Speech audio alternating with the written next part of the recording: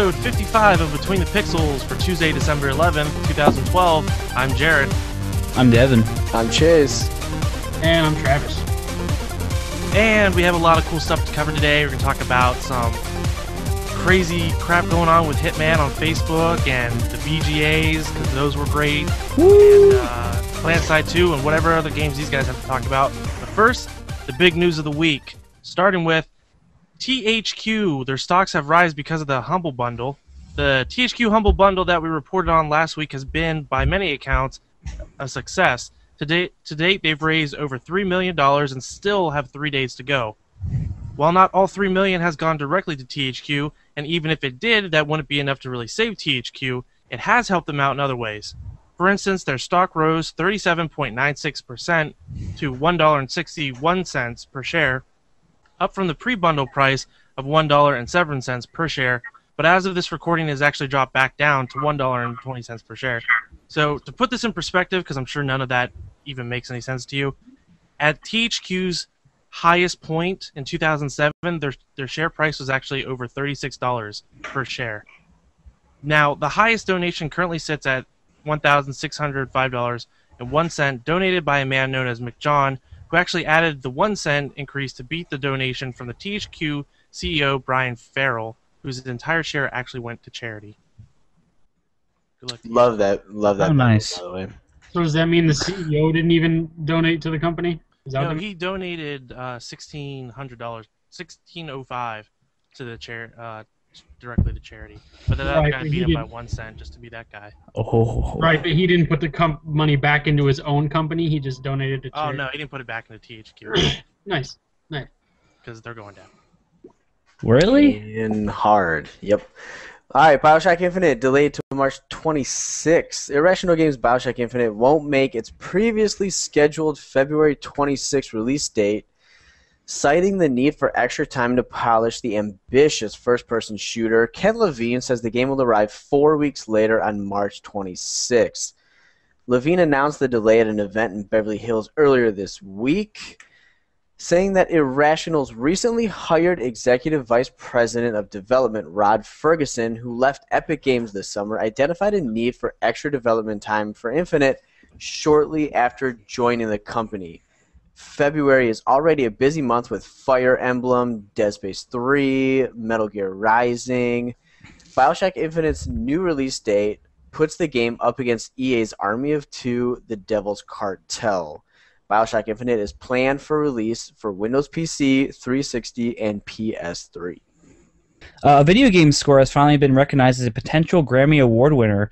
Now, this is the first actual video game score that has been recognized to be nominated for a Grammy. There was a song before this in video games. This is the first score that is going into the Grammys, and it's obviously going up against uh, many composers who do music for movies.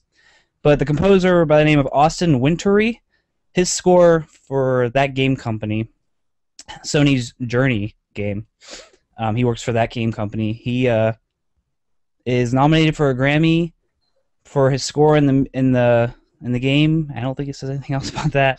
But he's going up against like people who did music for like the Dark- Knight Rises and uh, a couple other like big blockbuster movies that came out. So I'm kind of hoping he wins this, and it'll be the first time ever for a score to go up and actually win a Grammy. So that's kind of interesting. So that's news. That's the news. The past couple of months haven't been very great for video games. The NPD Group has released a report on video game sales are down by 25% in October and 11% in November. This may look bad for gaming, seeing as we had some really big titles hit in those months, but according to NPD analyst Liam Callahan, if we were to compare these numbers to the sales numbers in 2005, which was the last time that the industry was going through a transition between consoles, then we see that the sales now are actually double from two, from the 2005 sales. Also, according to, to NPD, the newest Call of Duty Black Ops 2 has seen a 14% decrease in sales on the Xbox 360 and PS3 for its first month. Last year's version, Modern Warfare 3, sold a record-setting 8.8 million units in on Microsoft and Sony's platforms in its debut month, which was a 10% increase over the 8 million units for the original Black Ops in 2010. The, the decline of Call of Duty sales has been an important topic this year, And granted, Black Ops 2 had seven fewer days than did the launch for Modern Warfare 3.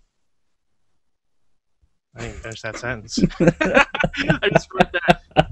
Anyway, while it doesn't mean the end for Call of Duty is near, it does come as a surprise seeing as the first Black Ops holds the title of best-selling Call of Duty game in the United States, with Modern Warfare 3 selling 2.7 million behind it. Oh, wait, are we just reading supposed to be reading the articles rather than summarizing them? I don't know. You write your own stuff. I wrote my own stuff. Oh, okay. Yep. So did you guys know that real money online gambling is not legal in the United States? No, Chase, I didn't know that. Can you tell me That's- more about that? That's right. But Zynga is banking on the idea that it will be and has taken its first step toward becoming a legal online casino. Can you guys believe that video games are going to be a way to actually play with real live money? It's going to be I insane. I cannot believe it. That's All right, so already happened, Yeah. sort of. Shut up, guys. Sort of. All right. So here's here's what they did. Uh, Zynga filed an application for what's called a preliminary finding of suitability from the Nevada Gaming Control Board, which, if they are approved, will allow players from within the state of Nevada to bet on games using real money. Uh, it's going to take about a year to a year and a half, but hopefully um, they will get accepted, and that's just to get uh, through the acceptance of the application process, not even um, talking about making the game itself. So uh, yeah, good luck to Zynga. I hope you get approved. Okay, well, something new for the PlayStation Store. You can actually get a browser-based version now, so you can actually do it on your computer. It's about time Sony has caught up. But now there's a web version of the PlayStation Store, so you can actually download games and buy things on the PlayStation Store on your PC. Uh, unfortunately, it does not have anything integrated to it where, like, if your PS3 or whatever is on, that it just automatically starts downloading that game if you buy it on your PC, much like the Xbox Live Store does have. So it hasn't completely caught up. And as of right now, it's not actually available in the United States, so it must just be getting tested elsewhere or just hasn't been released completely yet. But keep me looking forward to that in the near future. Transition.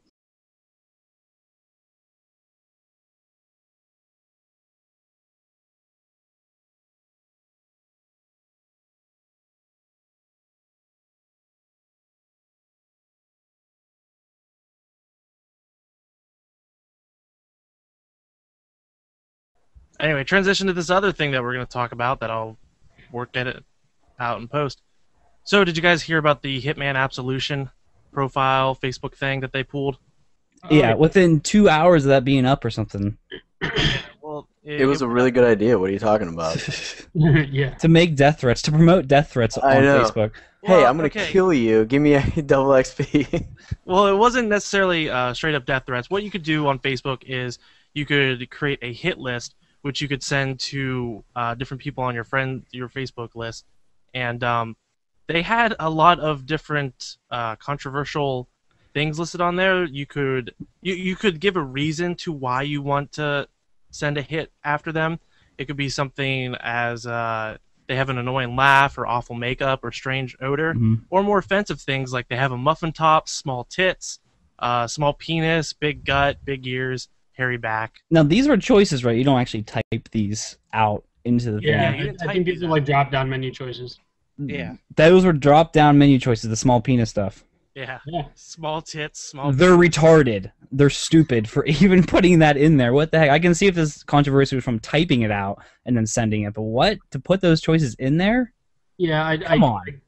can't imagine any marketing head possibly even giving th- thinking this was a good idea. It was ridiculous. Funny if you want your company to go down. Yeah.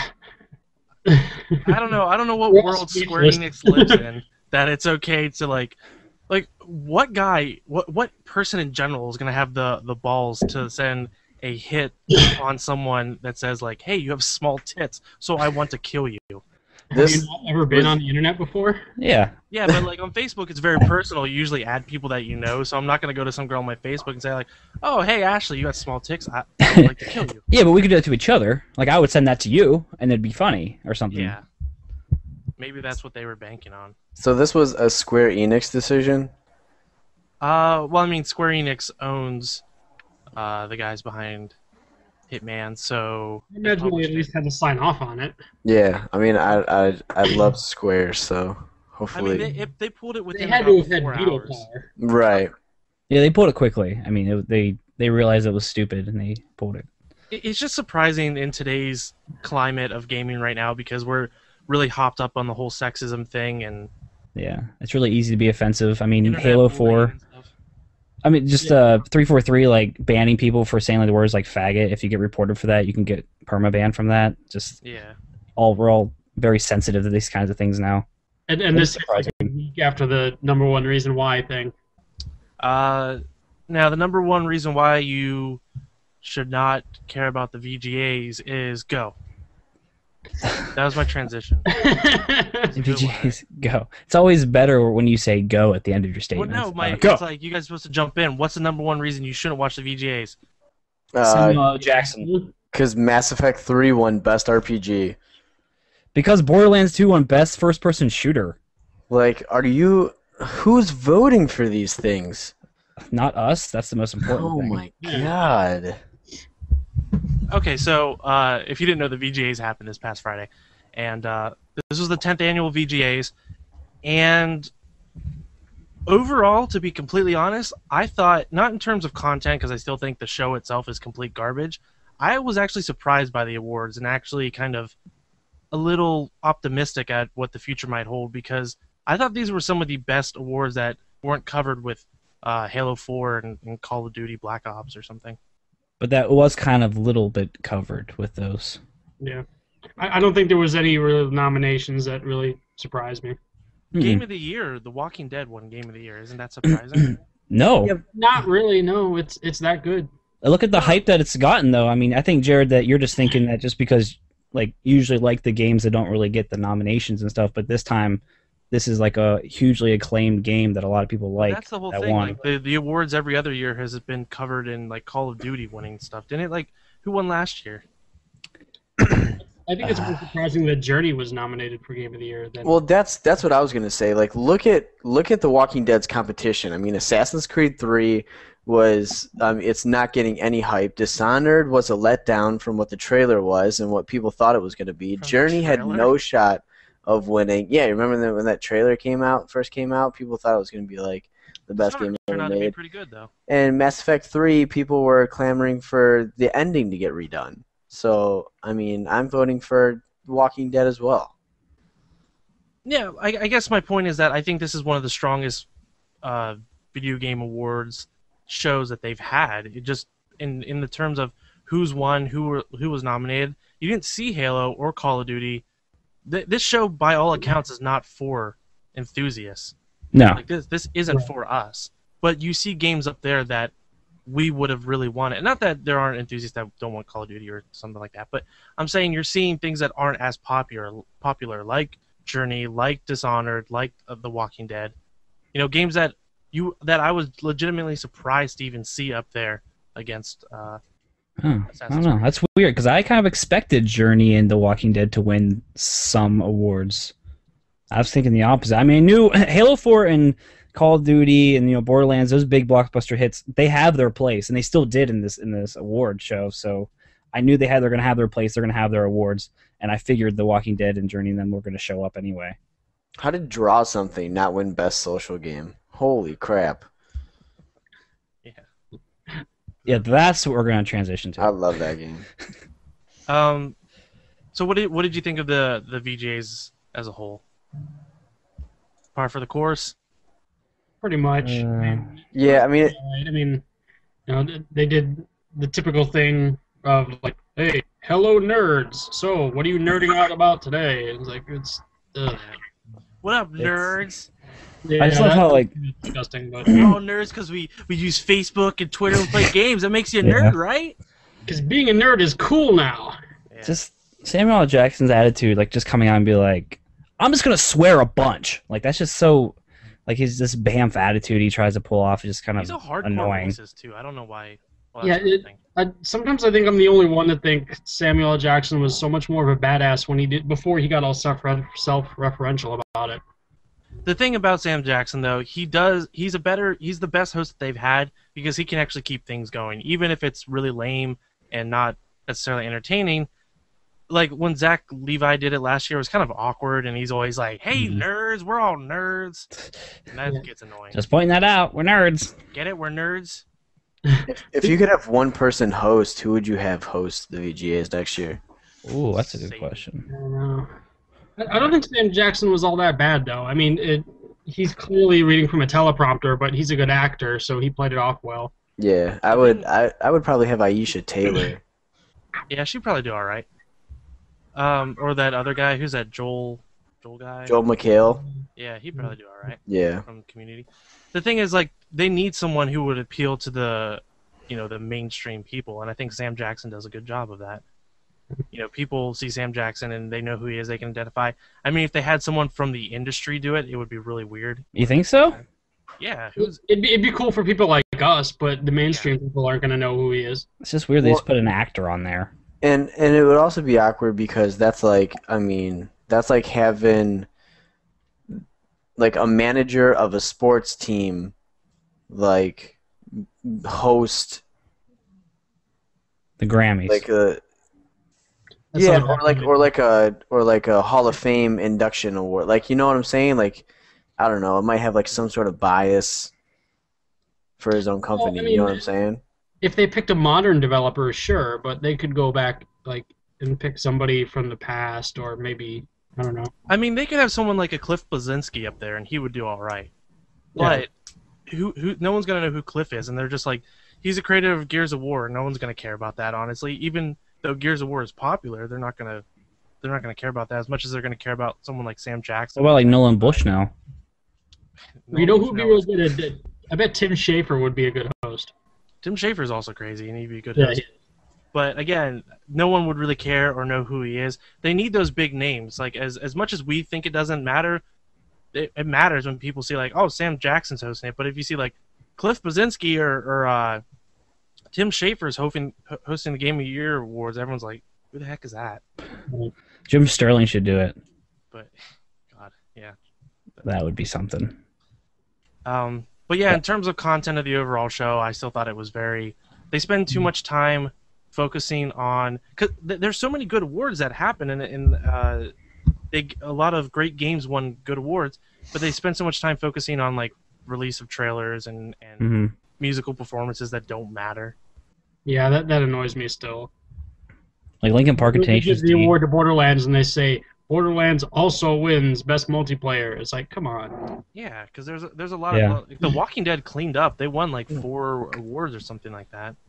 Uh, they won Telltale won Studio of the Year. They won game. They won Best Adapted Game, Best Downloadable Game, and Game of the Year. I thought it was really cool uh, that Half Life Two won Game of the or Game of the Decade. Yeah, I thought you would have liked that. Maybe because, maybe because Is it, is it really that good? I haven't played it. you got really that excited about it. You're like, yes. it deserved it. I think. Yeah, I I had no idea even what to think would have won. I was like, game of the decade? Well, that's because That's they so didn't many really, games. They didn't really spend any time going into the candidates, though. yeah. It was all just flashed them on the screen real quick. And Yeah, then- Yeah, that's look at clip. I think the reason it won Game of the Decade, like if you go back now, you probably won't think much of it. But at the time, it depends on how you look at it when you go when going in to play it. At the time, it was it was definitely a, a huge, uh, important game. But as time went on, a lot of people, it's like one of those games that you look back and you can see, like as you play future games, you can see how developers have used what they used or what they did in Half Life and how much it's affected Mhm. people, you know, in their game design down the road. I think the same could be said about like games that have really changed how people are making the games as like first person shooters like Halo Combat Evolved changed a lot of first person shooters and how they were made. You could argue the same for like Call of Duty 4 was like the big transition to all the rest of the Call of Duties that are out now. No, yeah, no, no. I'm not saying that other games can't be like that. Yeah, I mean, Halo changed the face of, of console first-person shooters forever. Yeah, and so they'd just be just as impactful. But I mean, to go up against Half Life Two and to argue that that should be a greater a candidate, you know, to get Game of the Decade It's- award. well, it's not a fact. I mean, but there's obviously a panel of people looking at this. People vote for this stuff, so uh, a lot of people saw that as a game of the decade. So I think that'd be hard to vote for. Like if even if I saw a list of five or ten games, I'd be like, I wouldn't even know what to choose. But um, going back to the awards, I think the award, the actual awards I gave out, were, were a lot better this year, more than any other year. But Mhm. it's it's a dis, it's sad that no, some games don't even get a, uh, a acknowledged. Like the best PC game was XCOM: Enemy Unknown, and that didn't even get recognized, and that's pretty terrible. Yeah, I, I was looking at the list and I was like, I don't remember them even announcing this many. They didn't. I, I, I didn't take a look at the full list like on a website or anything. All I did was watch the, the stream, and I didn't even. I, I don't even know what the rest of the wars are. And if and if you look at the games that XCOM beat, I mean Diablo 3, Torchlight 2, Guild Wars 2, like holy ridiculous. crap, like give this game some credit. Like if you're going to give it an award, dude, give it Yeah. a minute on on the stage like for real. Yeah. Yeah. Especially because this one, this award show, we have other gaming award shows, but this one is the one that reaches the masses, and it, it's. I mean, it's great that Walking Dead is out there because that's a game that you know a lot of people in the know have played it, but a lot of people haven't, uh, and hopefully a lot of more people will play it now that they've seen it on the award show. But there's a lot of games on here that don't get any recognition, and it'd be great if they did on the award show, so people would get you know kind of a, uh, a feel or an idea for what games are good. Well, I think The Walking Dead is going to be out there anyway because of the TV show and the comic. Yeah, I I'm- actually that got. certainly helps. It's it's it's much more um, validating to me to see Journey up there. But Hey, I Journey think- won three of them. Um, so what about all the uh, the things that were announced? All the different games we saw. Shoot. Uh, we saw a little bit more Bioshock Infinite gameplay. Yeah, it's like I, I was kind of on the fence about whether I even wanted to watch that because I've been trying to stay away from all the footage for that game and come and do it fresh. But I I watched it and it looked pretty awesome. Am I the only one that thought it looked too action heavy? Well, I mean, what they're going for. that's kind of what they picked. I mean, you could you could take scenes from Bioshock and Bioshock Two that were similarly action. Sure, but I, I don't know. This one feels a lot more shooter focused than than anything else. Like Bioshock Infinite, in a lot of ways, looks like it's crafted this really immersive world. But then when you jump into a thing where there's like, I'm hopefully hoping you can turn off some of this UI stuff where it's showing like enemy health bars and junk like that, because that kind of stuff takes, it kind of takes away from the immersion. It's like, hey, you're playing a game when you're having like all these different, uh, you know, different things popping up. If you could play the game sort of, you know, like Bioshock, the original Well, Bioshock, Bioshock had- Bioshock Two. Bioshock had that too. They had those uh, hemispherical bars above the enemies. I think I turned those off because I don't remember those. I mean, I'm I'm I'm not the biggest BioShock fan, but were people clamoring for like more Call of Duty and Halo grenades in BioShock? You know what I'm saying? Like, I was that- I wasn't. I thought mean, I- the I never heard anything like that. Yeah.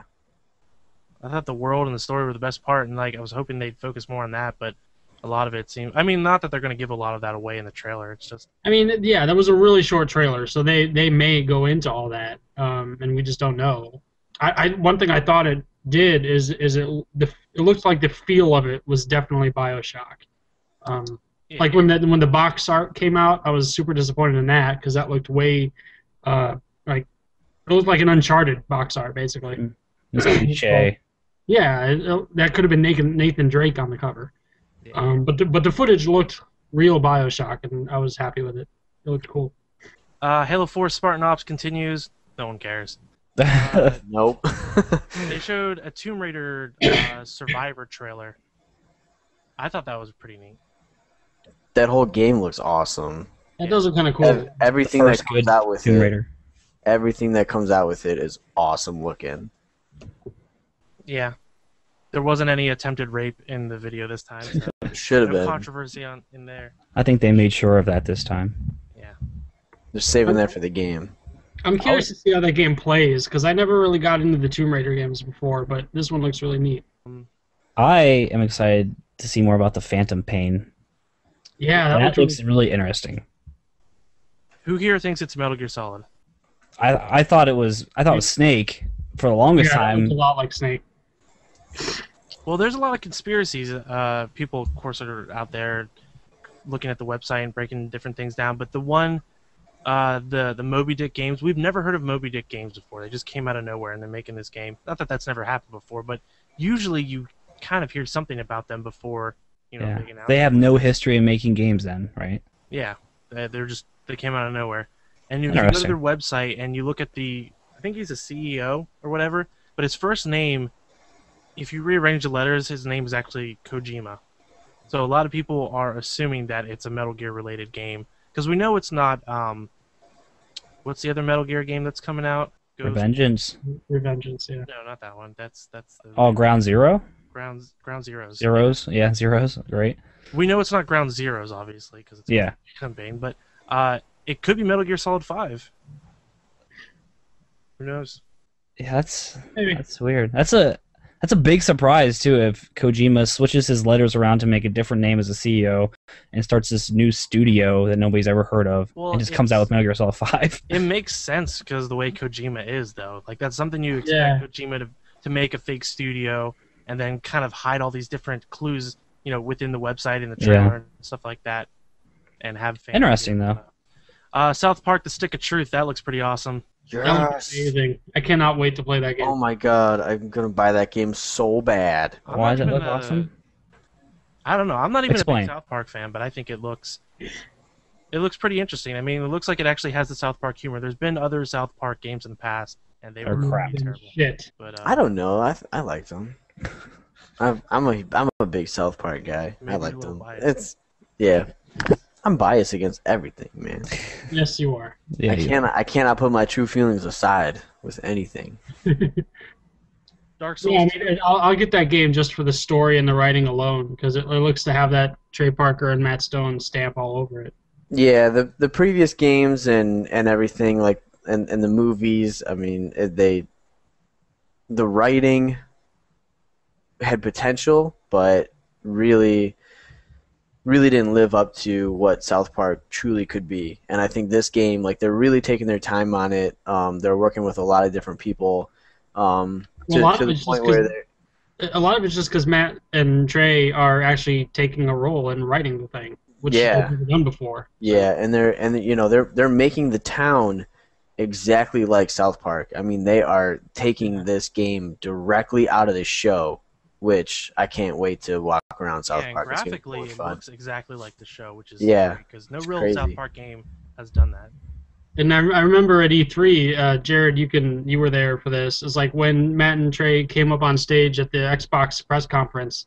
They were like, "This is like this is the first time we actually had to sit down and think about. Oh wait, South Park. How is that a real town? Where are these things laid out in relation to the houses?" And they actually had to think of a geography for the city, which they never had to do before. Yeah, Yeah, and if you and if you ever watch South Park, you and you're a gamer, you know that the Warcraft episode was by far like one of the funniest episodes they ever did because it was spot on with everything. Like even my girlfriend cracks up because she like calls me a noob and shit all the time. and uh, so they're gonna like kind of blend that with like their Lord of the Rings episode, and I think together, which are Mhm. like really have, have like really strong writing in those episodes.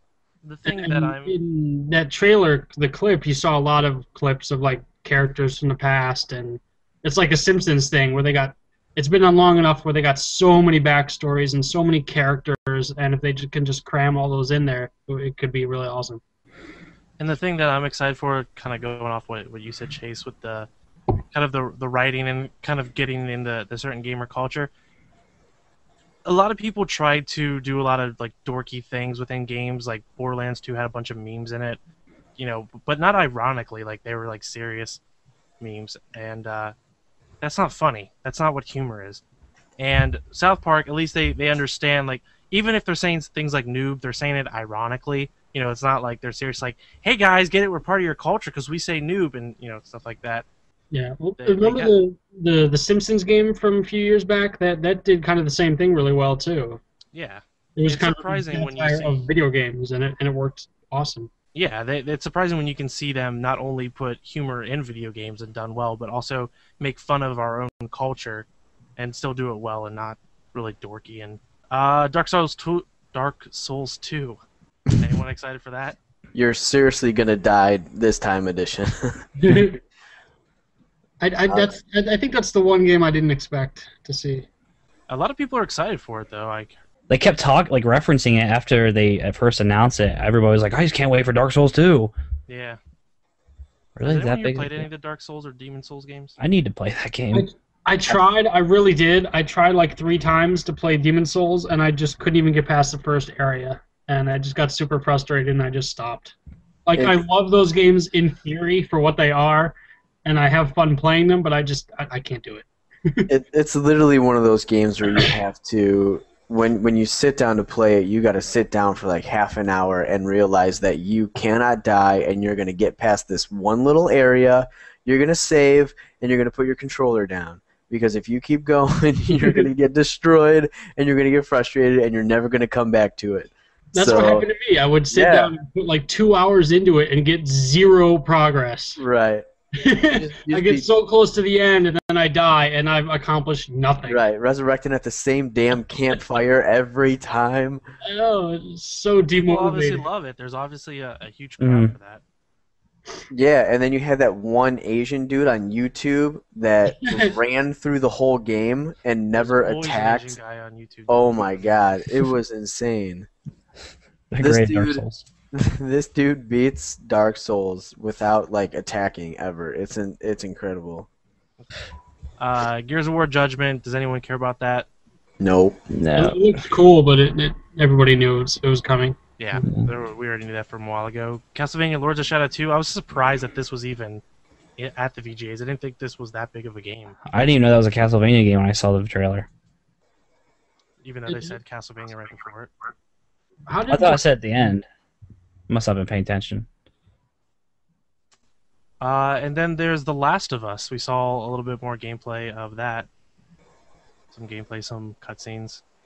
I get a boner every time someone even says The Last of Us. I'm so excited. Anything else you guys want to talk about with the VGAs? Uh, yeah. RPG. What? What one? Mass Effect 3? Yeah, go kill yourself. Alright. Moving I on. think I think Linkin Park should go kill themselves. Hey, they wrote a song about being in glass while playing Medal of Honor for the troops. These Yeah, cars 'cause don't they- Because they look so war hardened. No, because yeah, w- when I think Medal of Honor, of course I think of Linkin Park. Those performances are dumb. However, Tenacious D at the end, I mean, Tenacious D is That whatever. was cool. But uh, I liked Tenacious D. did anyone else realize that there there was a that the the rooster thing in the back was actually a giant cock? Yeah, I It was a noticed that. I thought penis. I thought it was a giant penis with like two balls, like at the bottom. Yeah, it was. but then they panned up and like when they did an overshot in like in the back of the audience, it didn't look like that at all. It must Yeah, have but- changed. From the front of it, it's supposed to look like a like a giant penis. Yeah, it definitely did. That's I thought I was just looking at the wrong thing. Pretty much people are confirming that this is Metal Gear Solid Five. There's a bunch of coincidences, by the way, just to go back to the Phantom Pain thing. Uh, there was a bunch of people from Konami wearing T-shirts for the Moby Dick Studio thing and the Phantom Pain. Uh, in the trailer, it like it flashes really quick The Metal Gear Solid Five in the background, where it said the Phantom Pain. Yeah, if you're listening to this right now on a computer, go to Google and image the Phantom Pain versus Metal Gear Solid, and like they take Snake's face and like put it together, or what is supposedly Snake's face. Also, there do that. were I forgot to say this. There were people who were in the Konami booth or whatever that were wearing, like you said, Devin.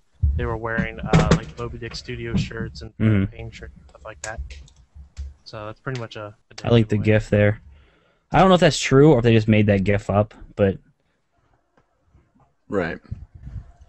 But hey, it's on the internet, so we'll take it as fact. yeah, true. All right, well, let's take a break, and then when we come back, we'll talk about games we've been playing.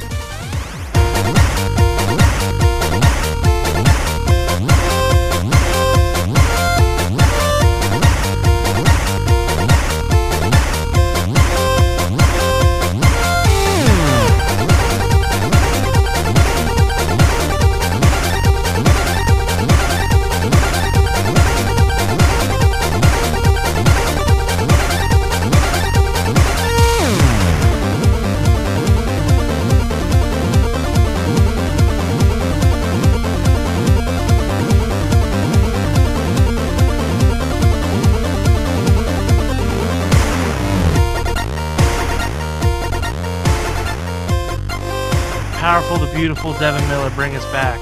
Hey guys, we're back. Episode. Uh oh. what episode is this? The 55? 65. Episode 20. Episode 20, Games of the Week.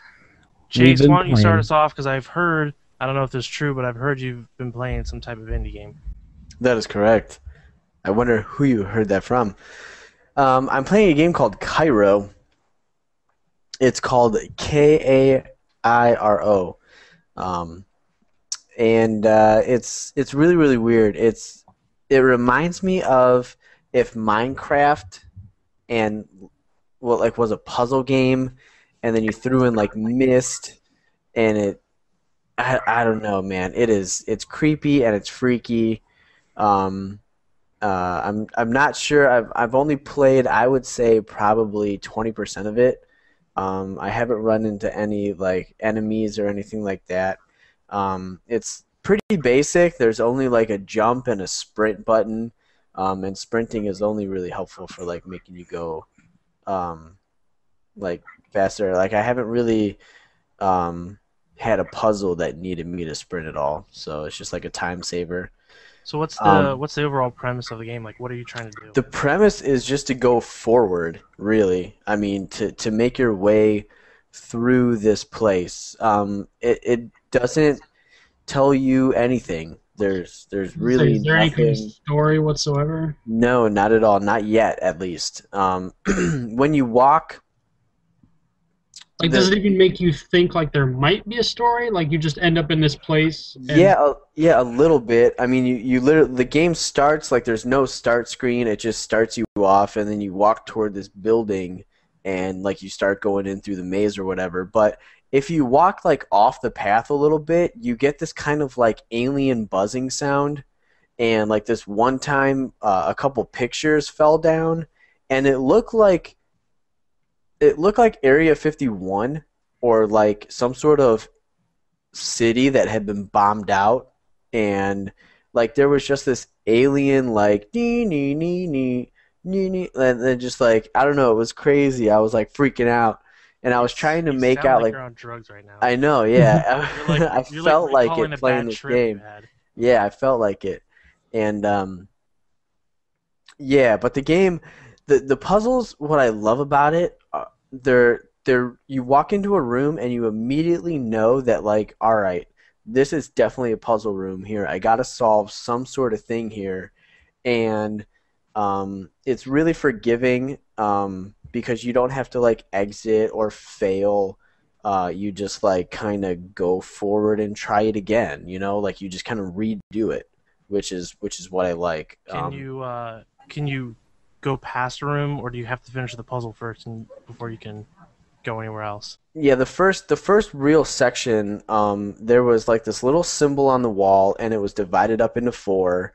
And so I was like, all right, obviously there's like four sections to this main puzzle thing right here because it had like a couple offshoot rooms. So I went and I solved a puzzle here and I solved a puzzle there, but um, like I got back to the room after going through all the rooms and I'm like, holy crap, what's up with this? So it turns out like I totally passed up a puzzle because I, I was just going too fast, you know? So it's one of those games where you really got to pay attention to detail. Um, and and I really like the the way it looks. I mean, it's really simple with all the shapes, and it's huge. I mean, it has rooms and rooms and rooms and rooms. So it's really really cool, man. I definitely suggest checking it out. Um, when I'm done with it, I'm gonna write a review. So make sure to go to pixelperfectmag.com and check that out when I'm done. I guess. Wow. Yeah, it looks very cool. I, I've seen a little bit of video of it, and it's very abstract. Uh, if there is a story, it's it's probably well hidden, but it's it's very atmospheric and it seems super cool for that good description. It seems fun. is it on Yeah. Steam or like GOG or where's that? Uh, it is on. He, I contacted him. He sent me the code through humblebundle.com. Well, you can buy it directly off of his So, site, and it's also yeah. available on iOS and Android. Yeah, there you go. Oh, okay. How Oh much, shoot! PC Do you know how much it is? Mac as well. Uh, it was eight dollars, I think. Yeah. Okay. Yeah, it was pretty cheap, but it, it's fairly large game from what I understand. How are the graphics in it? Is it like update? Is it like 16 bit or something like that, or good graphics? No, it looks like It looks like it was built in the Unity Unity engine. yeah, and and everything's like real blocky and triangly, and everything's like really like Yeah, the really the- geometric. I've seen look very geometric and Yeah, It's real shapy and squarey and blocky and stuff. But that's like not why you play it. Like you play it for like because it You don't blows play your it for mind. all and the you gotta, shapes. and you got to think. Right, exactly. I mean, there's tons of cool shapes in there, but you don't play 'em. we don't play with the shapes here. whatever. I'm, I'm gonna I'm gonna totally play it for the cool shapes. There were It's not- triangles, There's a lot of- squares. A lot of jerks out there who are like, "Oh, the shapes look real good in this game," but like, look, look, bro, it's not about the shapes. It's about best the shapes ever. I That- played Minecraft for the circles, man. It's not about the shapes. Yeah, That- shapes that'll are be- way different than circles. That'll be a year-end award. Best shapes, Right. so, what game had the best shapes this year? sound shapes, Oh, it's real. Oh, that's right. Ah, That's yeah. There you go. because they're music shapes. Devin, Devin, why don't you go next and tell us what you've been playing? Well, is Chase done? He only Yeah, plays one game. Done. Are Yeah, and then I done, played League of Legends. They came out character. Uh, They can we get an update on Diablo 3, please? Uh, Diablo three, no PvP still. What? Oh, the shoot. shit? My God. I will reinstall the game once PvP comes out. No kidding. I will too. I I will uninstall it right along with you, Jared, if they don't come out with something soon. Jesus. Mine's been uninstalled for a while. Ah. So you're not playing it. Me? No. playing it. Not not right now. I I'm playing uh, League of Legends. I just bought the new champion that they came out with. So How many are they up to now? 20, 2004 champions? Oh my god. They got to be they got to be close to 40, 50. How does anyone know all that stuff? I know every single champion. Shut up. Yeah. If you if you tell me the name or a skill or what if you Ragnar, describe the red face. that's not no that's not any of them. But if you like Queen describe Amidala, Princess. Um, Miss, Mr. Queen Bee. Oh my god. how they play? Yeah. I actually, I follow them. I follow the pro scene too. I'm trying to get really really good. That's, That's right. You're gonna see that's me not gonna happen. Stage, baby. Main stage. no, that's not gonna If this happen. podcasting doesn't work, I'm definitely going for that. Right. Right. Uh, that's pro. right. MLG Pro right now. Well, Yep. we're just gonna have to stop paying you at Pixel Perfect. Your contract with us is over. Conflict over. of interest. Conflict of interest for sure. we have you on for like two year contract, so sorry. Is that it? Yeah. It's cool. So we'll be gone in two years. Devin, go. I'll, Oh, okay. Uh, I've been playing this game called Grand Theft Auto Vice City that just came out last week I hear that's a good iOS. game. Oh man, nostalgia is amazing. That's the only reason I got it. Yeah, but is playing it with, without an actual controller? Okay, that's not even a question, Jared. Of course. It's, It's a dumb question. But it doesn't really matter. It's it's nice to have that like on the go, just like you know, play and listen. Just drive around and listen to the music, listen to the the talk talk radio stations, and just play some missions. It's just it's still fun to play on the iPad. It's just a different experience. You just have to get used to it. I'd rather not. Still, it's it's not that bad. I mean, obviously, it's just like a direct port. It looks fine on the iPad, but yeah, it's mostly just nostalgia reasons. And it just came out. It's only five dollars. I think it's totally worth it. do you guys think? Do you guys think pure nostalgia or having a game on the go is a reason to re-buy a game? I, I I would say so. nostalgia mostly. I mean, like if they came out with like HD editions of GTA games or some games that I really really love, I would rebuy them just for that Yeah. fact. I I, I have and do. Yeah. I repurchase a lot of games. I own multiple copies of many, many games that I games that I really like. You know, some of my favorite games. So I own multiple copies, and yeah, I mean, if they make a portable version of it, like on DS or something, if it can easily be translated to that, then yeah, I would definitely do that as well. All right, dumb question, Jace. Chase. Wow. Yeah, I was just trying to. you didn't even answer yourself. Yeah. Um. Yeah, maybe not nostalgia, but if they remade something to make it look I don't understand. better, the I would question. I would rebuy it. yeah. Can your? Uh, I don't understand the question. Uh, Wait, so you're saying not if the, nostal- the nostalgia, not for nostalgia though. For what? that is correct. Yeah. If I wanted nostalgia, I'd just go plug in my PS1 again and Sometimes it's not always Play Final Fantasy convenient though. Like sometimes I just get on the kick of wanting to play a certain game, and if I have it on the go or whatever, and maybe I don't have my PS1 hooked up or PS2. Yeah, or maybe I'm lazy because like I own many versions of Half Life 2, because I talked about it before. Obviously, I like that game a lot. Uh, and one of the first, I played it originally on PC, but I didn't have that version anymore. And then I had it on the original Xbox, and then no way I want to hook up my original Xbox to play that again. So I Yeah. have to rebuy it on other systems. Yeah, that's not happening.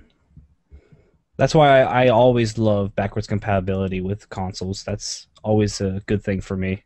I wish I had the original PS3s that were backwards backwards compatible, but I don't. So I, I do. It's sitting uh here, So still jealous. broken. Oh, it's still broken. It's nice I got Still it, but I broken. can't. It, it's been sitting here next to my computer for about a year, broken. And Mm-hmm. it sucks because I have a game stuck inside there too.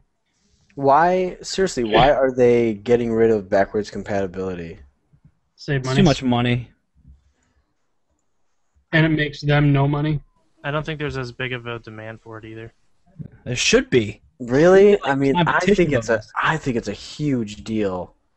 Yeah, but that's us. Right. I don't think We're lot of only four people. Like a lot of people who bought the Wii weren't like, man, can't wait to play all those GameCube games I bought because like, I bought the GameCube. Well, it's, I think that's a bad example. Even with the original Xbox, I don't know anyone that picked up a 360 and was like, man, can't wait to pop an original Halo or Brute Force. but with but the, with the PS3, I mean, Brute force. Yeah, I guess the PS3 was was the only one. yeah, because the Because there were PS3 so like, many PS2 games, Yeah. man. Yeah, it's like one of PS2 the is really biggest important. and best game libraries in history now. And even PS1 games, man, they're still fun to go back and play. Like the original mm-hmm. Twisted Metal is still fun to go back and play. I think you mean Twist Metal oh, Metal 3. 2. You mean Twist Metal 2. You mean Twist Metal 3. Yeah, 2. You most Dude. certainly don't mean 3. It's, it's kind of backwards though. I mean, you have the Wii, it's backwards compatible with the GameCube, which I no one cares about. And then you had like the 360 who did like random games. Like you're like, I'm not sure if this will work with my Xbox 360, you know, regular Xbox games. And then the PS3 actually had it and then discontinued it. It's like, what the heck? With that, with the 360, they're like, all right, well, we have like 13 games that are back. yeah. and like as time goes on, we'll update them once in a while, just pop it in and happen with. I don't know. Like except for none of mine worked, except for like Halo. Yeah, no, you'd pop in one in, in like or like really obscure games that no one cares about, like Conflict or something. Plus, they, Conflict they'd rather you spend another ten dollars and buy it digitally. Yeah, Yeah, that's actually probably the better way to go marketing wise. Just like, oh, all right, we'll put this on the store and you can buy it on there and just download to your Xbox. because they know people will. Yeah, and that's exactly what they're doing with the PS3. I mean, that's a huge market for them. Yeah. But they're buying PS2 and PS1 games on the store, tons of money, I guarantee it. Same with the Wii, I guess. tons of money, I guarantee. You. I guarantee it. Just I'm talking to my tons of account guy. He'll tell you people tons of money. buy He knows. Reckon it all in there, brother. what did you even say? I said, What in there, brother? I said, raking it all in there, brother. Okay, what was that? What, what accent was that? Uh, I don't know. I usually combine my accents when I talk and It was try to make them. Yeah, it was a strong, like Scandinavian. I'm gonna guess. That's my usually my first. Oh yeah. By the way, I've been playing this game called Into the Dead, and uh, it's basically just like a Jet Slalom game. If anybody's ever played that, the Flash game. You know what I'm talking about? Jet about? Song game. Jet Slalom. Is that how you pronounce it? Slalom. Slalom. Slalom. Like you're that jet, and you like you have to like Oh. d- just move back and forth to dodge like the triangle trees Oh, as they yeah, come at you. right, Yeah, it's all- right. Yeah, yeah, that's exactly what this is. It's it's you're just running away from zombies. Like you start out in a field, and you're just you're you're just a Oh, person good, like in a first person zombie view. Yeah, but it, I mean, it's come out just with those recently. yeah, it's just like a jet slalom. Basically, like it forces you to run at a certain pace. You know, you can't stop it. You just keep running, and there's zombies just pop up everywhere. And then eventually, like you go to harder places. Like you get into a forest where there's trees you have to dodge as well. and you go into like a crop field, so you can't really see it like go in a straight line, and then like go through the crops left or right, but like there's lines of crops. So, and you can get like weapon crates and stuff pickups whenever you go through. So you can like pick up a pistol with some ammo, so you don't actually have to move around a zombie. Or if there's a bunch of zombies, you can keep going straight and just kill them as you go. And it's pretty easy. You just like tap the middle of your screen and shoot your gun. But I mean, each zombie takes like three or four shots to actually kill, so you have to do it at a decently far distance. But it's an interesting game, and it's it's usually like those games are usually about like how far you can get. But uh, and this one's kind of separated because it actually has something called yeah something called missions. That's what I was gonna say. It has missions, but All right, guys, open your mind to this. this idea. it It has missions to it. Missions. Yeah, and you win missions, or you, you complete missions by doing like specific objectives, like getting a new high score, or killing so many zombies, or getting so many coins, or getting so many crates and so much ammo, or whatever. And then you get to the next mission, even though it's the exact same level that you're playing over and over. but at least it feels like you're accomplishing something. And then you can also unlock weapons like chainsaws and other guns and stuff. So it's an interesting game. It's just fun to play on the side, which I don't even know why I downloaded, but I just, I just saw like recommended games or you know good games for iOS or on iPad or something. I just downloaded random ones. So it's interesting. So that missions thing sounds kind of cool because I've played a few like Infinite Runner games and they get old really quick. Yeah, they do. And I thought this was the same way until like it, it just like it told you the missions that you did and like the ones you objectives that you completed and I was like I didn't even know what that meant. But I beat a couple missions and you just you play the same thing but now you just have to do different things in the same level. That's kind of cool. So it does give you an incentive to like keep playing and and you get a bunch of coins. Obviously to market this game since it's a free game, you can buy like hundreds of thousands of coins to use in the the thing they call the armory where you can buy weapons and stuff. But I'm not going to actually use real money to buy that stuff. but it's interesting. Cool. It's a zombie game, so that's new. Yeah, so check it out if you like zombies. Or games. Yeah, either or. Missions. New. If you like missions in games, yeah, screw it. I'm playing it for the missions. I, I don't like zombies. I don't even care about the zombies. This game has missions. I don't even like games. I just like missions. Travis, uh, what have you been playing this week? Um, I've been playing a couple different things. Um, the I know it's not really a new game at all, but uh, I got my copy from GameFly of um, what is it? Rhythm, uh, Rhythm Heaven? And the Emperor's Treasure. It's it's like Rhythm Heaven. It's it's like a combination of Professor Layton and um, Elite Beat Agents. Like if you can imagine that. Um, like a Professor Layton thing where you have a story through like static screens, um, and you have a map that you go to, and then when you're on each environment, you can tap on the screen to collect hidden coins and things like that. Um, so that's kind of how it's structured, except instead of puzzles, you're playing little uh, music mini games like Elite Beat Agents style almost, and they change they change up the mini games a lot, so it, it's it's pretty cool. um, obviously, you guys are completely totally. what's it about? Um, it takes place, I think. what is everything you just said? What are you even saying with your Uh, mouth, Wait, no, Travis? no, no, can you say it again? I don't understand the question. Um, you're like this guy, this kid who's like a like a thief. Um, it's he's a kid. That's like his disguise, and like at night he becomes this thief and tries to steal like artifacts and art and things like that. So he's like an art thief in in like An art thief? Sounds Yep. compelling. It's like Sly Cooper. It is. Um, but yeah, it's like apparently there gets in as it gets into the story. There's like uh, guys that are after you, and I don't know. I haven't gotten too far in the story yet, but so those, so those enemies. Yeah, there's enemies that come after you, and you have to play the music. What what's this for? oh yeah, I forgot. There's music in this game. What the heck? What do you do with music? It's for the 3DS. Oh, okay. I'm sorry if you already said that. I, I didn't actually. So. Okay. So, downloadable game only, or you, you actually have? a No, it's it's a card, uh, physical card. Um, but yeah, it's fun. If you like the Professor Layton games and like music games, you should check it out. Oh, I love Professor Layton games. Is there a lot of like uh puzzles in the same way that, like in the vein of Professor Layton, like they're those kind of puzzles? He just said no. There's no puzzles at all. Um, Really? Okay, I'm not. I'm, I he said listen. instead of the puzzles, they replaced that. Blah, Right. blah blah blah. You know. Okay. um, but you do to tap on the screen at the different screens to find hidden coins, and you use that to unlock uh, different instruments, I think, and uh, tracks in the music player. Um, but yeah, the music mini games are fun. Is it like a Guitar Hero thing? No, not at all. It's it's like um like have you ever played Elite Beat Agents? No, see, I don't even know what the heck that is. Okay. Um, well, the songs tend to be rather Japanese, um, and they have different tapping games where you have to tap on certain places in the screen to the beat. Um, like if an enemy's coming at you, you have to tap to kind of hit the enemy. Oh. There's one where you're like chopping up food in a restaurant, and you have to kind of swipe the screen to spread something like on a hamburger. Um, they, there's a lot of variety to the mini games actually, which Are is you- nice. Are you going on the same beat, kind of like Rhythm Heaven, where you have to like hit a certain beat? Sometimes.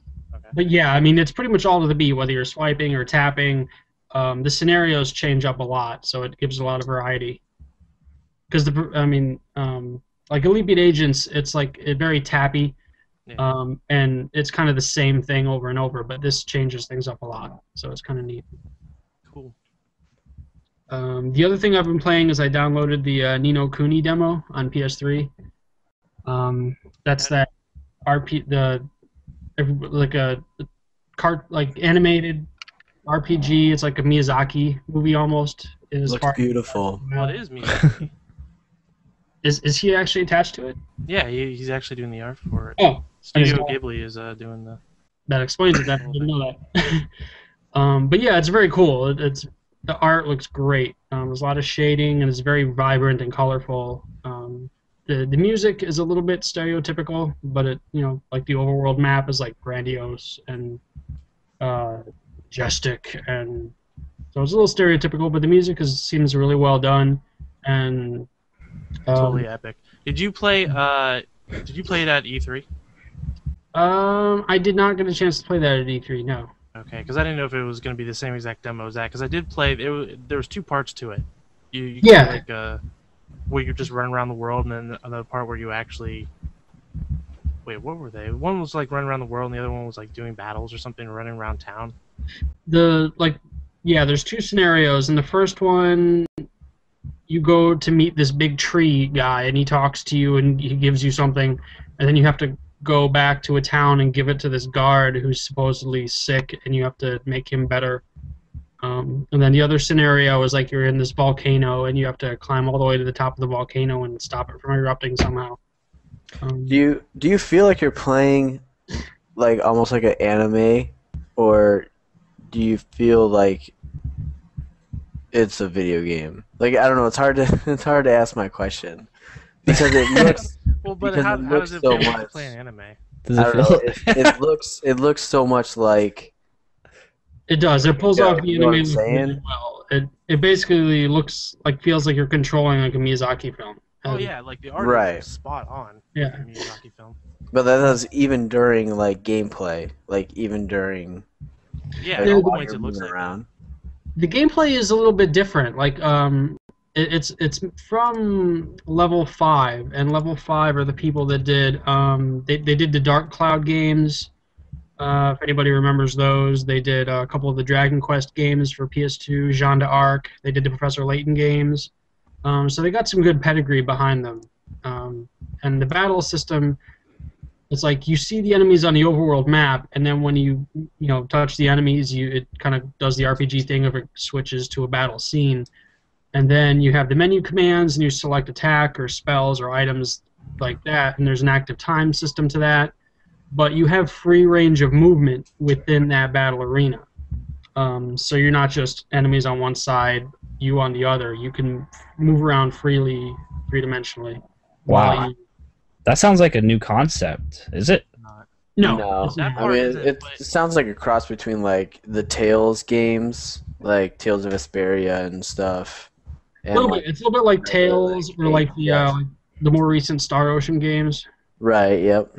Um, so it's a little bit like that. It's kind of nice to have the free range of movement while you, you know, pick certain spells and items. Um, no, it, it's been a while since I played it, but I remember that you could you had almost like little they were almost like little Pokemon. that Yeah. You could you had with you, and you could have them.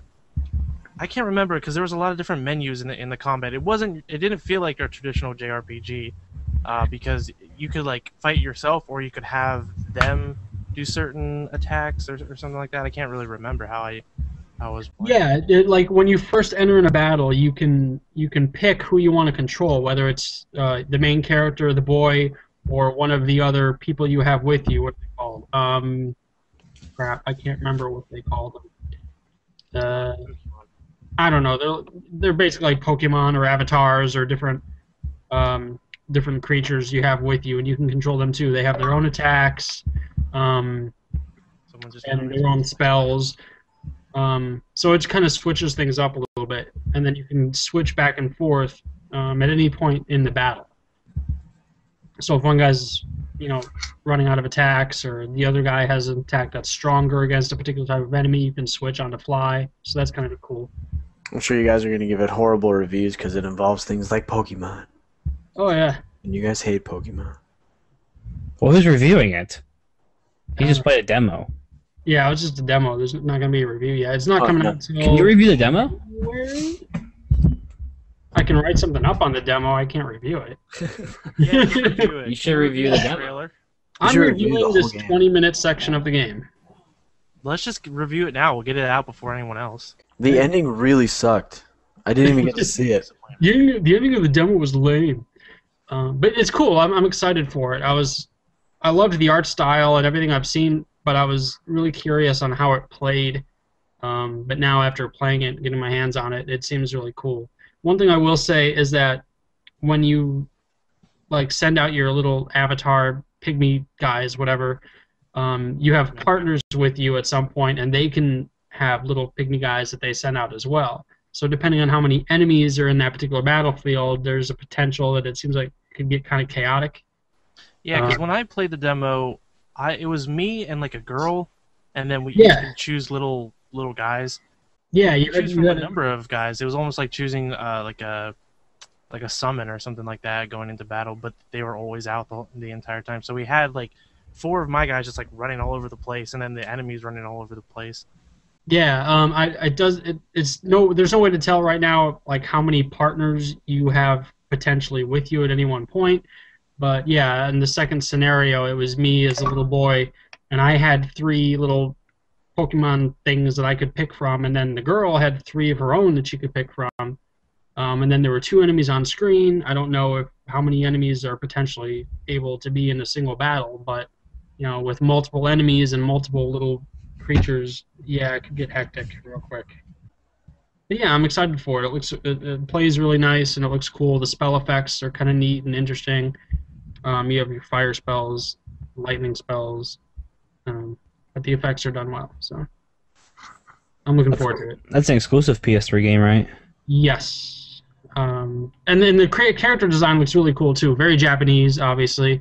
Um, you know, your little creature you have with you is that is that little weird looking dude with like a pointy nose and he's got like a lantern hanging off of his nose. Yeah.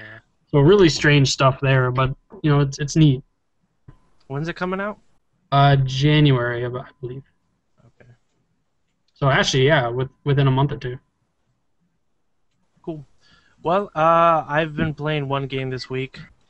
I've been playing PlanetSide 2. A whole heck of a lot of it. Because that game was pretty awesome. It's free, so that's even better. Free to play, yep. Uh, PlanetSide 2 takes, uh, I mean, if you don't know what PlanetSide is, it's a massively multiplayer online first person shooter. And uh, you basically you choose from three different factions. I went with the Terran Republic, not because of any particular reason. They're just the one I chose. And uh, I jumped in on a server, and, and when you first play this game, it can be a little bit overwhelming uh, because there are a lot of different systems going on. I mean, at the heart of it, it is a shooter, but there's a lot of other different things you can do because it's a class-based shooter. So you have kind of like heavies, and you have uh, engineers and medics and snipers and, and different things like that. And there's a lot of vehicles that, that you can use, and you have to get used to. Um, I've been playing by myself. However, it, it, where PlanetSide 2 really shines is when you get into a group who knows what they're doing. If you get into like I, I jump, you can jump into a squad. The cool thing about it is you can go to your menu and you can look at the available squads, or on your keyboard if you hit the insert key twice, it'll just automatically throw you in it in any old squad. And um, when you're in a squad, especially when you're in a good squad, you'll have a person who's like a commander, and they tell you what to do. They can set waypoints on your map and say like, all right, we're gonna go and we're gonna take over this place. We're gonna go and defend this place. And uh, if you ever played like a battlefield game, it it it goes for what Battlefield has tried to go for. Uh, which some battlefields were successful with it, like 1942 was really successful, and Battlefield 2 was fairly successful. Battlefield 3 wasn't as successful, um, but of that big like massive battle where you're you're working together and and you're all trying to accomplish one goal together, and uh, it can be really exciting. Like there's nothing for me, there's nothing more exciting than when you're working with like this massive group and you're just you're either defending a base, uh, you know, you see all these ships just flying all through the air, and you're in guns like trying to blast them down, and then like I play an engineer class, so I I love playing support classes. Um, I don't really mess around with any of the other. I play engineer or medic because those are the two I like. I always like playing support, and so like if we're defending a base and there's just like these massive battles happening, I'm running around and I'm like repairing guns and I'm throwing down ammo and you know I'm setting up turrets. Uh, and it's a it's a lot of fun because I I'm constantly having to run back. You know, there's always something new going on. So like I a gun goes down, so I go over there and I repair it real quick, and then I have to run to like the other side to to repair it. Uh, but like along the way, someone needs ammo, so I gotta run up, toss some ammo, and then like there's these guys in big mech suits, and I heal them real quick, and then I run over to go heal another gun, go fix another. You're healing people as a medic or as an engineer. No, there's guys who wear like these big mech suits, and you you you have to repair their suits. Oh, and that's healing them. Their That's suits. that's healing their suits. Yeah, I said that incorrectly, but yeah, you're you're repairing their suits. Um, and it's just like crazy massive battle going on. Or the same thing when you're attacking. You know, you're pushing in, and and you have like all this. You like load up. Your commander says like, go back to this place and load up on on artillery and stuff, and like you get in like a bunch of heavy armor, like tanks and and different uh, flying vehicles, and you're just like storming this base and just these a- absolute massive battles. And when you have people that know what they're doing and they work well together, which from my experience happens fairly often, at least on, on my server. See, that that's what I was gonna ask. Is like, how often does that happen? Really? It, the, the thing is, I've always said that like you, you will find some dicks and some useless people on PC, but for the most part, a lot of PC players are pretty helpful and work well together. It's not like Xbox Live. You're not being called uh, like a faggot or, or a bunch of other homophobic or racial slurs.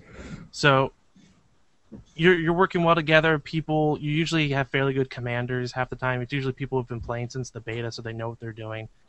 Um, How do you choose a commander again? Like who who knows who's a commander or not? I'm not? sure how that get, that that gets chosen. I think they start a squad because you can start your own outfit. So like if the four of us, the five of us wanted to play together, and uh, we went in, like I could start an outfit, or start a squad or whatever, and then we could all jump in together. Is that like a clan, an outfit? Is An that- outfit's a clan, yeah. Uh, and then we could start a squad, like, and I could lock the squad to just the five of us, and if we wanted to play together, and we could just roll around together, or we become a part of a different, a larger one, which has like Alpha, Charlie, Beta,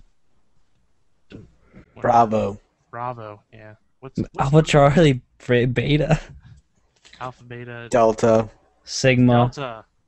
Foxtrot. So like when you have one like that, when we're like four squads together, then you have like the overall commander who can tell everyone to go to one place, but then you also have your squad commander who can tell you to go to specific places, and it's it's hectic, but when it works, it's it's an incredible experience. Uh, like I said, if you're jumping in by yourself and you don't know how to join any squads and you don't do anything like that, you you're probably going to be lost. You're probably going to jump in and not enjoy it at first because it's not going to make a lot of sense. You're not going to know what to do because they're really they don't give you a lot of tutorials. There's not a lot of things telling you what to do. Uh, you kind of just got to figure it out on your own. Uh, it is free to play, so you can do everything. Like nothing's really uh, nothing locks you out, but you can pay money to upgrade certain things. Or if you work in the game, like everything that you can pay money for, you can work for in the game because you earn things called credits, and you use those credits to unlock uh, different weapons or upgrade your weapons. It does have an RPG element to it because you are leveling up. Like uh, as an engineer, I have my repair tool and I can level that up. Uh, you can level up different to get different weapons, to get different attachments to weapons, uh, different abilities to add to your character. Like I can have like a, a regenerating health sort of uh, attachment perk thing, uh, or you know, and and throwing down ammo for other players perk ability thing. So what about the fighting? You really talk about the fighting, the shooting of aspect of the first person shooter. You you just talk about like staying back and helping your crew. Well, I mean that's you go and typically what I people? play. I do I do kill people occasionally. Uh, the shooting, at first, it isn't it the, the probably the I don't want to say it's the weakest part, but probably it probably is the weakest part. But I don't want to make it sound like it's really bad. Like the shooting isn't as solid as something like Halo or Call of Duty or Counter Strike or you know any other uh, well handle handling first person shooter. Uh, but as you get different attachments for it, it, it tends to work itself out and, and tends to work a little bit better. But at 1st mm-hmm. it, it has a lot of recoil. So when you're shooting a guy, you really have to handle your recoil. And so it can get a little annoying. I mean, maybe that's just because I'm an engineer and I play that so much, but maybe if you start as another class, the accuracy on your weapons are a little bit, bit better. I honestly don't know. So it's like you kind of pick a class and you want to build that one up I mean, specifically, or do you want to join? Like when you earn credits, you can put credits into any class that you want. Because I'm jumping between Oh, medic and you don't earn them for your class that you're playing currently. No, you just earn them in general, and then Oh. you do you do level up, which I'm not sure what that actually yields yet. You just have a battle rank that you can level up. Okay. I don't know if that goes towards credits or what. Um, Well, I have it downloaded so I can play it. yeah, I think you would like it too because I know you like playing support classes as well. I know this doesn't appeal to everyone. I know I'm just talking about like one facet of it. If you like killing people, there's a whole lot of killing you can do. Uh, you can jump in like giant uh, airplane, these like airship things. And for me, th- there's nothing more exciting than like jumping in a giant plane and then like soaring over with, and you look to your sides and there's like six other uh, airships with you, and you're about to go bomb a base, and you have like seven people on on the one you're on right now, and you get there and like bullets are flying everywhere, explosions are everywhere, and you're you're shooting off your guns, and the guy's like flying all around trying to dodge miss- missiles and stuff like that. It's really exciting. Well, how, what other teams is like? Is they huge, like hundred versus hundred or something like that? Oh yeah, easily. I, well, like the the servers, you, it can hold thousands. I forget how many, a couple thousand. I was just because it sounds a lot like uh, Mag or like uh, the Dust 514. Yeah, it's just on a way larger scale. You, yeah, there there actually there's three continents, so there's a lot to explore too. So there's three factions fighting over the course of three continents, and you can jump on each of the three continents, and, and they're pretty pretty huge. And you're just at a constant war, fighting for different bases. Oh, And, uh, so it's constant. It's not like you do the squad button, like you hit or whatever twice. It's not like you're going into a matchmaking thing, right? Where it sets up a game and you play and fight each other until no, no, no, You no. win. It's constant. It's it's a persistent like MMO world. So you just three in there- teams are fighting each other. Yeah, Which makes it really awesome because it gives it that MMO style, you know? yeah. So it's going to be like a constant war over three different continents, which is going to be pretty awesome. Yeah, it, it- it's really exciting. And Mhm. The the server I'm on, the the levels, the um, population of each each faction is pretty even. So there's really no one who's dominating any other. Yeah, that's, that could seem to be like a big problem. What if one place gets a lot of people and dominates? Unless they force it to be somewhat even, like you can't join after so I would- many I would people. think they would distribute evenly, or at least try. But you always get those people who are like, you know what, I'm going to join the squad that has The one other person in it because I want to make a huge difference. I want to be awesome. so, you know, the people purposely join the underdog and like sabotage everything. Like, that probably happens all the time. I mean, it is pretty cool when you you join with a squad. Like you you go on a continent, and it seems like because I see red. There's red, blue, and purple, and I see red of the of the places that we've taken that we actually own on the continent. And So like could safe just houses for you? Are they more so like safe houses for you, or people? Well, they're like there's there's some like little base like every base looks different. I mean, well, there's some similar ones that you see, uh, but like there's ginormous bases, uh, and then there's small like little places that you can take over. So like there's a lot of different points, a lot of strategy to it. It's like because w- like we've had like a little squad going dead like in the dead of night, and you know everyone's like shut off your lights, and so we roll into like this one area and we cap this place that's behind like a big base, and then we go around it and cap the other one, and then so we have other guys spawn there, and then we all attack the big base, and it, it's pretty neat because you know you're flying, you're you're going down like as you're when you're a ship in the air and it's at night, you can't see down at the ground very well. So if they don't have their lights on, it's hard to pick them out. So we're all rolling in there real silent. We take that base, and then we go and take the other one, and then we just ha- take this massive, you know, uh, Yeah. force and go crush the other base. And That sounds like the experiences that Derek was talking about with Ultima on a whole different scale, not first person shooter and all that jazz, but yeah, it sounds like his experience that he had about like taking over huge castles and stuff and coming in by boat or by plane or whatever, you know, by air. yeah. Like I wanted the other day. Uh, I hadn't like slept at all before work, and I was like, I'm just gonna play like 30 minutes to try it out. I ended up playing like five hours, just like not even realizing what time it was. That's pretty crazy Like- being by yourself. I know I'm not playing. like I'm the type of person I don't play multiplayer like at all unless I have friends playing. But this is a game that I will jump into and play by myself. I, And I think I saw that on your Facebook too. It's like I only wanted to play like half an hour, but here it is, Yeah. two hours later. yeah, it was like three hours at that point. And then I just kept playing. I know. That, that sounds really cool. I just don't like playing with other people. So See, yeah, I don't either. But I mean, it, playing on a PC is a whole different experience. That's the only thing I can chalk it up to because people are not like I actually like I don't even like talking to other people. You know, on like especially on Xbox Live, but like on PC, Yeah. like people are nice, they're helpful. Like I just have any question, Mhm. ask it out, and people will help you out. And I mean, It's I a mean, totally different crowd. It's people who don't cool. play on PC don't understand. Like people who play on PC go out of their way to help, or most of the time, like they're they play the objective. Yeah, I mean, you do run across some jerks, but Yeah, part, occasionally. Right. the community is really really helpful. Right. that's awesome. I, I wish some of those people would get on the consoles. I mean, Yeah. Well, I think I think it's it's the opposite of what you just said. I think they're leaving the consoles and coming over to the PC. I think makes- that's what's happening because they're like, you know what, fuck it, I'm sick and tired of the twelve year olds. I'm going to the PC, and I- they I build and they build their own their PC. Yeah.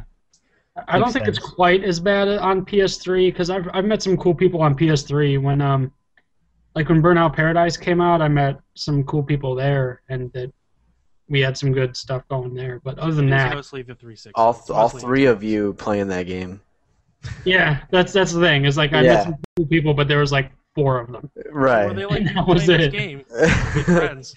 Please don't leave me. You're the only one on this game right now. I know That's because all the little kids are getting consoles and stuff for Christmas. Most little kids don't get PCs for c- Christmas. You know, like kid, parents are gonna be like, "Oh, here's a brand new computer." It's a lot easier to go out and buy a 360 or whatever and some Yeah, games. I was playing Black Ops earlier, and this little kid, he was like level three, first prestige, right? So he just got the game. He's like, "All right, guys, we're gonna go capture this flag. We're gonna go right up through the middle, and we're gonna go get him." And then this older guy was like, "Yo, little bro, that's a bad idea. Come with me this way." And he like, look, he took this like six year old. Yeah, like it was crazy. If that happened on the 360, he would have been like, "Shut the fuck, up, little bad kid again." But Yeah, like, like- this old dude took this little kid like around the side, like a better route. It, it was incredible. I almost I almost cried. It was beautiful. Yeah, and that's rare. Extremely rare. So it's so it seems. Yeah, it's like a father-son experience there. Yeah. Yeah. Does that bring up all your daddy issues? Yeah. My dad would just play video games with me and help me go around the other side. I alt tabbed out of the game and pulled up a picture of my dad and just stared at it for a while. down. Right. But yeah, that's what I've been playing. That's it. That's all. That's it for this episode, episode 27. So Yeah, episode 63 of uh, Between the Pixels. You can follow us on Facebook and Twitter, and all that information is at pixelperfectmag.com. If you have any questions, comments about any topics or the news we talked about, You can email us podcast at pixelperfectmag.com. Uh, check out our sister podcast, sort of sister podcast, Barely Relevant at barelyrelevant.com if you like inappropriate discussions. And uh, oh, hey, we're uh, we're a video podcast too. So if you only listen to us on iTunes, which most of you seem to, uh, but you want to see our beautiful faces, then you can check us out youtube.com slash pixelperfectmag, or if you just go to pixelperfectmag.com, it's there as well. Wait a minute, you can Watch- find watch us your wording. Perfect Mac. Yeah, pixelperfectmag.com. That's a website. I, I, Yeah. I, I don't know if I said that yet. Nah, you didn't. Oh. You can try to figure out what our faces look like, like Travis. See what his face actually Let's looks like. Travis. Devin Devin Only one looks of you did, exactly like, like how he sounds. That's not true. A lot of people say that's not true. A lot of people say that his voice would be a little bit more man. Yeah, Some- I sound like I guess I sound like a girl. Cool bed, by the way.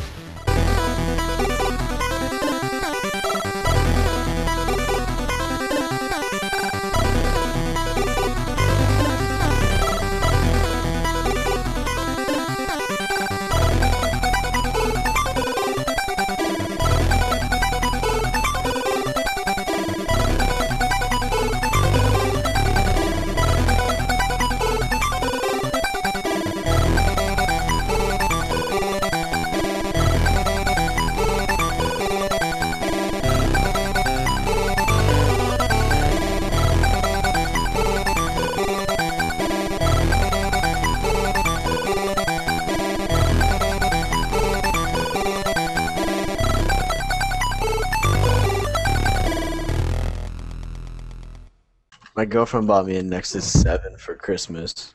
Wow, bad decision. You serious right now? she should have got you a Wii U. I thought you won one. Yeah. we could have played together. oh wait. What are you gonna Oh, do with wait. the Nexus 7 that you can't do with a Wii? yeah, exactly. Everything. uh, what about smart glass? Hmm? Yeah. What about smart glass? there you glass? go. Huge selling point. Zipper up, zipper down. Zipper up, zipper down. Zipper Halfway. Up, zipper down. Oh. halfway. Is it? Zipper up, zipper down. They don't go down the whole way. No. I would say down. Shirt on or shirt off? I can't do that oh, really fast. I should Off. take my under take my shirt off and just have my chest hair showing. Sexy. Chase doesn't have chest hair. Have what no are you? Twelve? hair. Yeah. Pretty much. How old are you, Chase? Old is you? 25. 25. I don't believe Holy that. crap! Am I the baby? Yeah? You don't know how old I am, Chase. You're yeah. 23. How's this? How's this look? Does it look like I'm wearing a A scar. scarf? Chest hair? okay, now you have to find the right voice to talk. It's called Gillette. yeah, It's I'm called leaving. Sexy. How's that? I might, talk. That'll come up. Jared. I might actually have more than you. You, uh, you probably do. I trim mine down usually, but I haven't trimmed it for a while. This is this is how I am for No Shave November. Uh, I didn't shave at all in November. Everyone, show your chest hair. Don't be weird. Yeah, on. don't be weird because I'm the only one doing it. Oh god, this is about to be Jesus Christ, man. Mine's a little more wild than. Mine's longer, but What are you guys, Yeah, it was- bears? look how long this is. I bet you I had more butt hair than you. Oh yeah. Yeah, no. You got the I just hit cut. I just hit my record button real quick. I could like poop on a rock and still be comfortable. All right. Because of all the, 'cause of all the hair, you know.